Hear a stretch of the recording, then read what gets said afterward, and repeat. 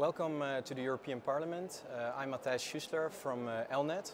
We are here just after a hearing that took place on the topic of UNRWA. And I have here with me a member of the European Parliament, David Lega, a member of the Committee on Foreign Affairs, and also the chair of the working group on external financial instruments under the Committee of Foreign Affairs. Um, welcome, uh, David. And I have with me as well Hillel Neuer, the executive director of uh, UN Watch. Uh, welcome to the European Parliament. Thank you.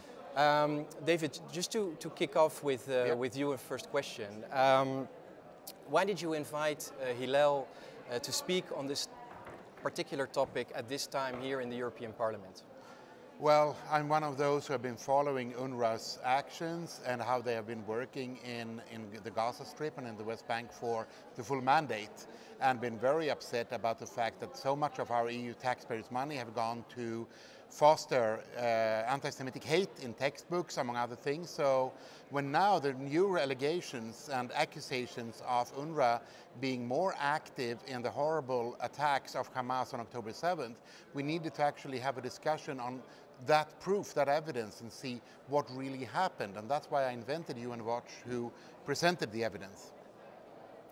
And of course, there has been a tremendous amount of controversy around uh, UNRWA and the role of UNRWA that has been, uh, been playing. Also, uh, running up to this hearing uh, in the parliament, there was, uh, there was a lot of turmoil, so to say. Um, how did the hearing go? What, what, what was the atmosphere? What, uh, what happened? You know, the, I'm astonished at how the meeting went. Um, it was in the end off the record and without camera, so I can't disclose any names of specific members.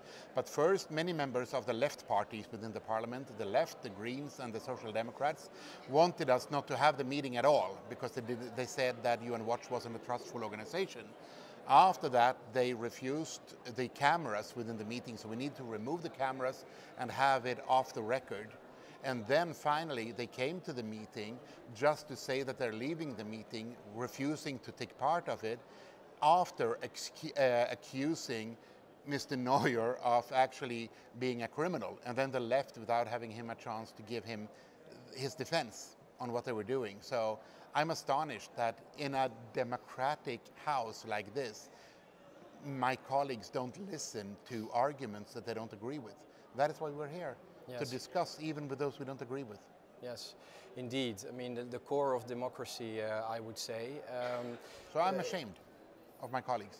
Yes, yes. Hillel, if, if I may, may turn to you, what, what, can you maybe share with us some of the insights that you brought up during the hearing that are so important for this parliament to hear and understand from what you have learned about, uh, about UNRWA and all the investigations that you have been doing? Sure. I'll, I'll first uh, begin by saying I want to thank David Lega for inviting me here today.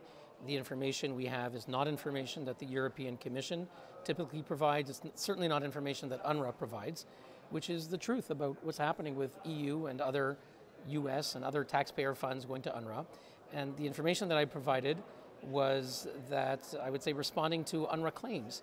UNRWA has, I would say, three main claims. Number one, they claim UNRWA does life-saving work. This mantra is echoed and parroted by ambassadors and many other apologists around the world. UNRWA does life-saving work. Well, that's a bit hard to say uh, now in March 2024 when some 450 terrorists by Hamas and Islamic Jihad are known to be working for UNRWA in Gaza. And that information's going to be coming out in a couple of weeks, going to be very embarrassing for many of UNRWA's apologists.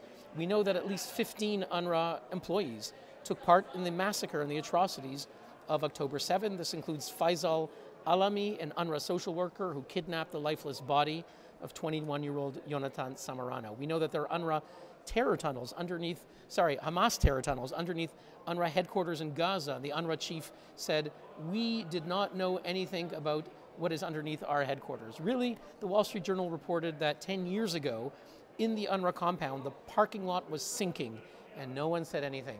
No one wanted to talk about it because everyone knew what Hamas was doing, but you, you get death if you speak about it. And even the electricity was connected to the, to the tunnels, right? Indeed. The, electric, the electricity going into the Hamas terror tunnel had, was operating a spy intelligence center computer uh, server farm. The cables are going right into the uh, uh, UNRWA's electricity grid. So It's preposterous. It doesn't uh, respect our intelligence for the head of UNRWA, Philippe Lazzarini, to say we didn't know what was underneath UNRWA headquarters. And um, you know, then we're told that UNRWA takes all allegations seriously. Takes all allegations seriously. Well, you know what? I told the European Parliament today in the committee that for nine years we've been sending them reports about hundreds of UNRWA teachers and school principals who systematically glorify Adolf Hitler, cheer terrorist attacks, and call to murder Jews, like Elham Mansour, an UNRWA teacher of Lebanon. May 2022, she said we need to slaughter all Jews. So when we brought this to their attention, they refused to meet with us, they refused to investigate, they disparaged us publicly, they attacked us. That was their response. They do not take the allegations seriously. Finally, I told the parliament that UNRWA, that the UNRWA says that they are irreplaceable. Well, they're only irreplaceable in that the Secretary General told all the other UN agencies they're forbidden from taking any of the work that UNRWA did. If America wants to pay to help people in Gaza, Guterres told the World Food Program and others, you are forbidden to take any money to help the people of Gaza because he wants to shield the monopoly of UNRWA. So uh, the truth is that UNRWA is replaceable, and that I do believe if we want to help Palestinians and Israelis, we can find other humanitarian aid agencies, whether they're UN, whether they're non-governmental organizations, that will feed Palestinians, help them without financing terrorism. Yes, and I think you know you're you're already looking a little bit uh, towards the future. Uh, I know one of the, the topics you touched upon is also the issue of textbooks, education of Palestinian children. I know, uh, David, that you have been very involved in this uh, topic inside the Parliament through various committees like the Budget Control Committee. Um, would you like to, to make a, a, couple of remarks uh, on that? Well, I think that it's a bit upsetting when we hear European representatives now saying that no European taxpayers' money went to directly or indirectly help uh, fund the terrorist attacks. But since we know what schools the terrorists went to, we have been funding those and we have as an institution been turning a blind eye to the fact that these school books teach hate and have been doing so for so many years. So that is one thing that we absolutely need to stop doing. But right now, I mean, they, we need to release the hostages. That's number one. We need to dismantle Hamas to be able to do anything like this again. And we need to really do our best to help the Palestinian people because they need our help. But I'm not sure that UNRWA is the only way we can do that. That's not the most important thing. The most important thing is to help the Palestinian people. And honestly, I haven't seen a single starving or um, malnurtured uh, Hamas terrorists for this. They have the food, the Palestinian people don't. So we need to find better ways to help. UNRWA has lost my confidence. And uh, turning to you, uh, Hillel, uh, looking to the near and maybe a bit farther future, how do you see the role of UNRWA in, in the context of all of this? Look, for as I said, for nine years we've been calling for something very simple, very modest, which is that UNRWA should fire the teachers who celebrate uh, anti-Semitism and jihadi terrorism and should investigate how it is that they've come to hire thousands of these people. And what we realize now after October 7th is that there's really there's nothing left for UNRWA to improve on or to reform. It is irreformable. What we understood is that what happened on October 7th was the narrative of return. The Palestinians who invaded, the terrorists who invaded, massacred, mutilated, raped, and tortured, did so under the uh, teaching and belief that they are returning to their home, and their, their return is a violent and brutal return that they dream of. That is what they learned in the UNRWA narrative for 75 years.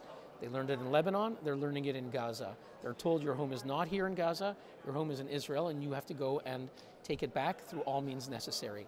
So we shouldn't have any more naivete. The UNRWA narrative is to say that Israel will be dismantled and Palestinians have a right of return.